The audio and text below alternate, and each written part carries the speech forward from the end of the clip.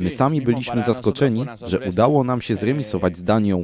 Nikt z nas nie zakładał takiego wyniku, ale jesteśmy niezwykle szczęśliwi, że zdobyliśmy punkt. Polacy już wiedzą, że nie można nas lekceważyć i na pewno rozpoczną spotkanie bardzo skoncentrowani.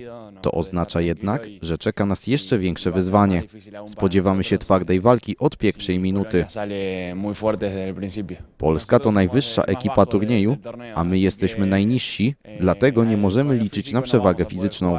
Naszą najsilniejszą bronią jest szybkość. Gramy bardzo dynamicznie i będziemy robić wszystko, by w pełni wykorzystać te atuty.